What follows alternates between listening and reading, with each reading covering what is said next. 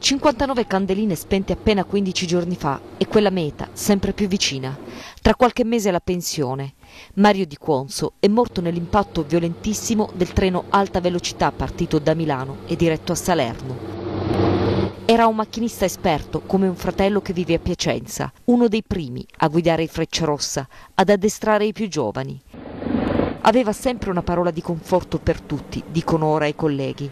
Era un gran lavoratore dalla sua terra d'origine, la Campania, aveva portato l'allegria contagiosa, l'affabilità. Viveva con la moglie e il figlio nel milanese a Pioltello, dove, per una tragica casualità, due anni fa deragliò un regionale provocando tre morti. Il sindaco ha proclamato il lutto cittadino. Dal sud arrivava anche Giuseppe Cicciù. 51 anni, si era risposato da poco e aveva avuto una bambina. Delegato sindacale, alle scorse elezioni non si era ricandidato proprio per stare vicino alla piccolina. Innamorato dei treni della sua azienda, su Facebook amava postare foto di stazioni. La divisa quasi una seconda pelle.